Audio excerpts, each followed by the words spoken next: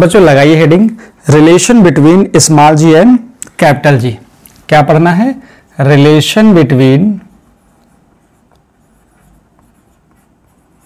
small G and capital G small G और capital जी में क्या रिलेशन होता है? तो पहले यह जानना ज़रूरी है कि स्मॉल जी को कहते क्या हो। तो लिखोगे आप स्मॉल जी के बारे में acceleration due to gravity acceleration due to gravity क्या चीज़ है ये?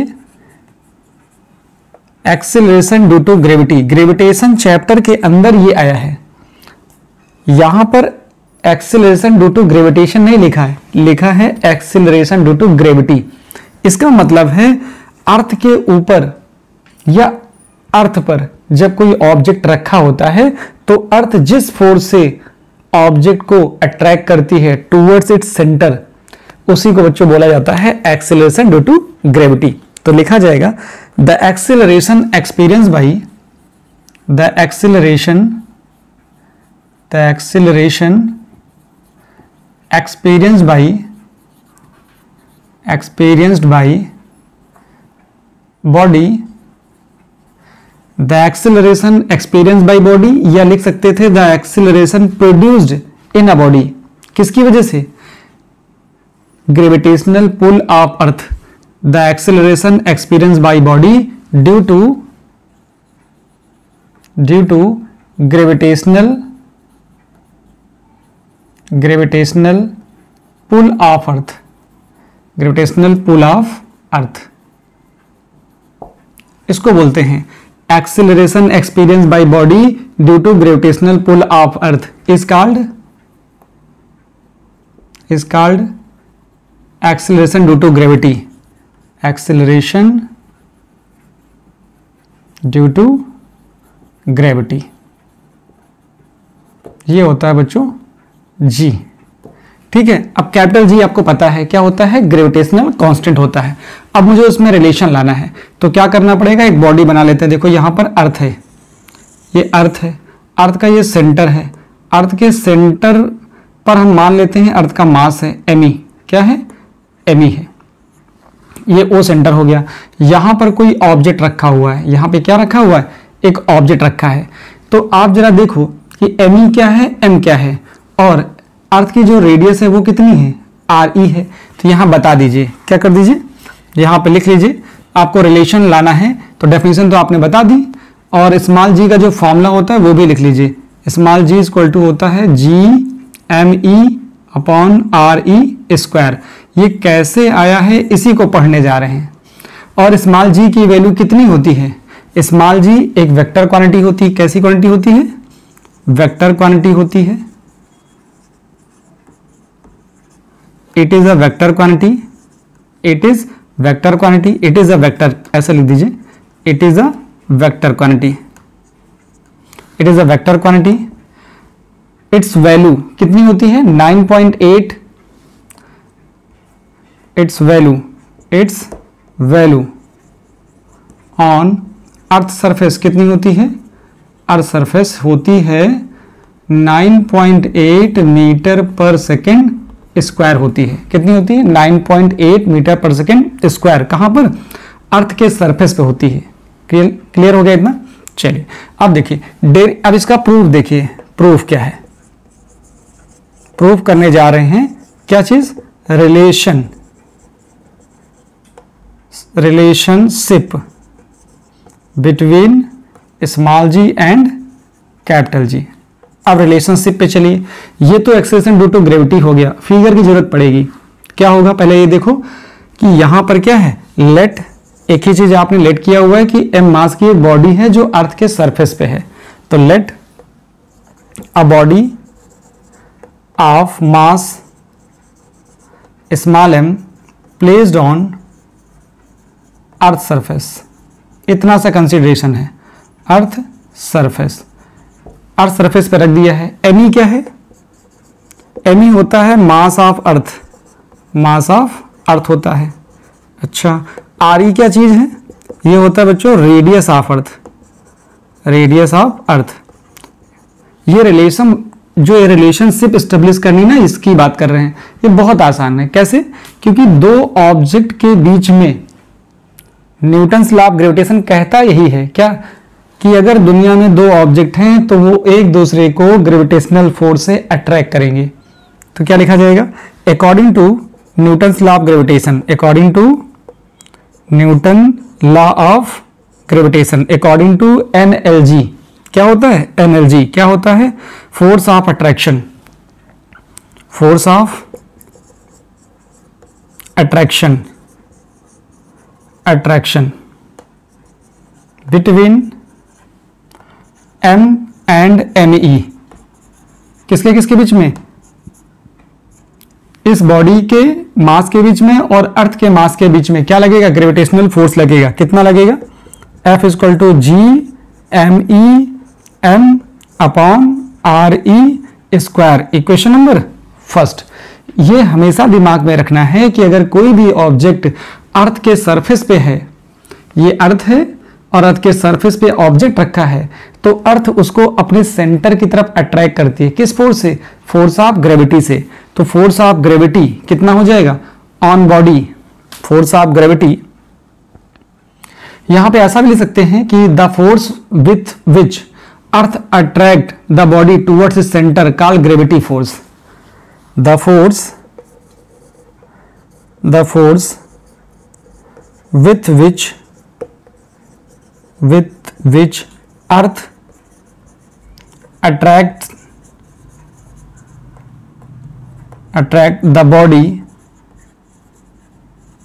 towards its center called gravity force. Gravity force. या force of gravity या gravity force. तो ग्रेविटी फोर्स कितना होगा? जरा लिखो। Gravity force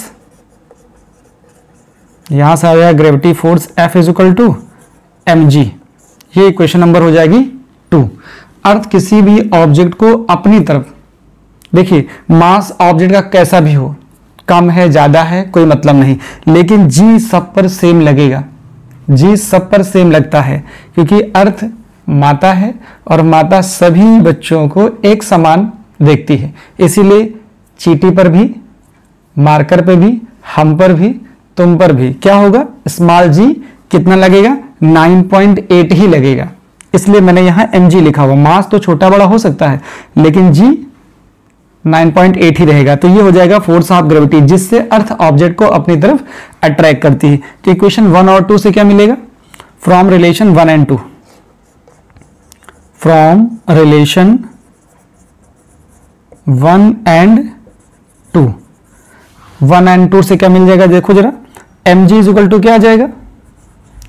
M G equal to आ जाएगा G M E M upon R E square दिखेगा? हाँ दिख जाएगा। एम से एम कैंसिल कर दोगे तो यहाँ से देखो बच्चों क्या मिल जाएगा? जी इज़ इक्वल टू मिलेगा आपको। G M E upon R E square यहाँ से ये रिज़ल्ट आपको मिल जाता है जो लाना था। ठीक है? अब यहाँ पर क्या करोगे आप? जी की वैल्यू एम ई की वैल्यू और आर ई की वैल्यू पुट कर दोगे तो आपको जी का एग्जैक्ट वैल्यू मिल जाएगा। देखो, क्या मिलेगा? स्क्रीनशॉट लीजिए, फिर इसका कैसे वैल्यू आता है वो बताते हैं। चलिए, देखिए।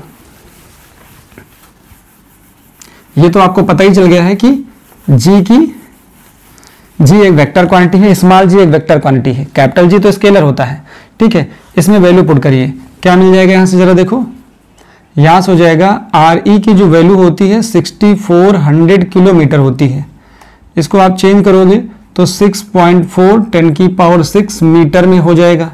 और जो एम ई होता है, वो होता है 6 इंटू टेन की पावर 24 के जी होता है।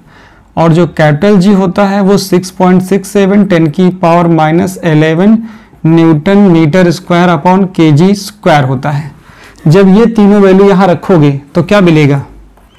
Now small G is equal to मिलेगा 6.67 टेन की power minus eleven into M E की वैल्यू हो जाएगी 6 इंटू टेन की पावर 24 और नीचे से आ जाएगा कितना? ये आ जाएगा 6.4 टेन की पावर सिक्स का स्क्वायर और जब इसको आप सॉल्व करते हो तो बच्चों ये आ जाता है 9.8 मीटर पर सेकेंड स्क्वायर ये होती है वैल्यू कहाँ पर? ऑन अर्थ सरफेस होती है। एक चीज़ और आपको याद रखनी है कि मून सरफेस पर जी की वैल्यू क्या होती है? Note on moon surface on moon surface जो मून सरफेस पे जी होता है जी एम लिख देता हूँ मून पर। कितना होता है? अर्थ की ग्रेविटी का वन बाई सिक्स हो जाता है। तो इसका मतलब वेट कितना हो जाएगा? अगर मैं वेट की बात करूँगा तो डब्ल्यू एम लिखना पड़ेगा। ये हो जाएगा वेट। कहाँ पर? वेट है मून पर। कहाँ पर वेट है ये? ये वेट मून पर है। तो वेट मून पर वेट कितना हो जाएगा? वेट पर, वेट की बात करेंगे मून पर तो क्या आएगा? डब्ल्यू एम आएगा। और डब्ल्यू में क्या होता है? एम जी होता है। इसका मतलब इसमें दोनों में एम से मल्टीप्लाई कर दो तो ये वेट बन जाएगा मून पर और ये आ जाएगा कितना? एम जी बाई सिक्स आ जाएगा। इसका मतलब जो वेट अर्थ पर है उसके वेट का सिक्स टाइम्स कर दोगे तो ये आपको रिज़ल्ट आ जाता है। एक छोटा सा क्वेश्चन कर लेते हैं जिससे क्लैरिटी ज़्यादा आ जाए। देखो, हटा दें इसको। चलो। एक छोटा सा क्वेश्चन ये है weight mass of object is 10 K कितना है? क्वेश्चन ये आपके पास है। मास ऑफ़ ऑब्जेक्ट इज़ 10 के ये एनसीआरटी का एग्ज़ाम्पल भी है, ठीक है? मास of object is 10 K G on earth surface find weight of object on earth surface and moon surface आपको दोनों सरफेस पे क्या करना है? आपको वेट निकालना है। ठीक है? वेट निकालना है। तो कैसे निकालोगे? देखो, यहाँ पर जो वेट आएगा, क्या आ जाएगा वेट देखो सॉल्यूशन में क्या आएगा? पहले लिखोगे weight of object weight of object on earth surface earth surface तो जरा देखो अर्थ सरफेस पे जो वेट होता है, वो क्या होता है? सिंपली डब्लू डब्लू लिखो या डब्लू लिखिए या डब्लू ई लिखिए? दोनों बातें एक ही हैं। डब्लू लिखिए या डब्लू ई लिखिए? क्या होता है? ये होता है एम जी के बराबर। तो एम कितना है? Ten.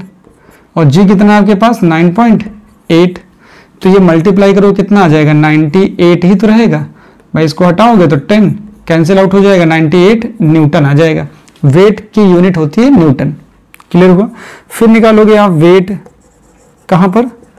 Weight of object on moon surface जब मून सरफेस पे निकालोगे तो मून के लिए डब्ल्यू एम लिखना पड़ेगा।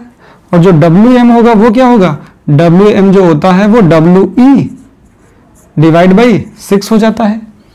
इसका मतलब ये होगा कि डब्ल्यू ई e कितना आया है? ये तो आया है नाइनटी एट और डिवाइड बाई करोगे? सिक्स तो क्या आंसर आ जाएगा जाके? ये आपको यहाँ से मिल जाएगा, देखो दो से तो कैंसिल कर लीजिए। ये हो जाएगा फोर्टी नाइन फोर्टी नाइन यहाँ पर आ जाएगा थ्री अब थ्री से और कैंसिल कर लीजिए। तो देखिए थ्री से कैंसिल करोगे तो थ्री वन जा थ्री और आपके पास आए नाइनटीन और थ्री सिक्स जा एटीन फिर आपके पास वन ये आ जाएगा सिक्सटीन पॉइंट थ्री न्यूटन तो ये हो जाएगा बच्चों weight of object at the moon surface तो इस तरह के क्वेश्चन बनते हैं। एक छोटी सी बात और होती है कि अगर कोई आपसे पूछता है कि जो एक्सेलेशन ड्यू टू ग्रेविटी है, क्या मास ऑफ़ ऑब्जेक्ट पे डिपेंड करती है तो आप क्या लिखोगे कि acceleration due to gravity mass of object से इनडिपेंडेंट होती है। वो चाहे मैं गिरूं अर्थ की तरफ़, या ये मार्कर गिरे, या आप गिरे, या कोई और गिरे, या एलिफेंट गिरे, कुछ भी गिरे, सब पर अर्थ एक समान ग्रेविटी अप्लाई करती है, उसकी वैल्यू 9.8 मीटर पर सेकेंड स्क्वायर ही होती है। किसी के साथ कोई भेदभाव नहीं होता है। सब पे अर्थ एक जैसी ग्रेविटी अप्लाई करती है, उसकी वैल्यू है बच्चों 9.8 मीटर पर सेकेंड स्क्वायर तो स्क्रीनशॉट लीजिए, इसे नोट डाउन कर लीजिए।